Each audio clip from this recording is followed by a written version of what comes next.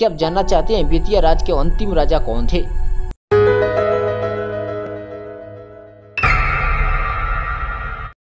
बेतिया के अंतिम महाराजा हरेंद्र किशोर सिंह थे, जिनकी मृत्यु अठारह सौ तिरानवे ईस्वी में हुई थी। उनकी पहली पत्नी की मृत्यु अठारह सौ छियानवे ईस्वी में हुई थी। उसके बाद से संपत्ति अठारह से कोर्ट ऑफ़ वर्ड्स के प्रबंधन में आई थी और महाराजा की कनिष्ठ विधवा महारानी जानकी कुंवर के पास थी।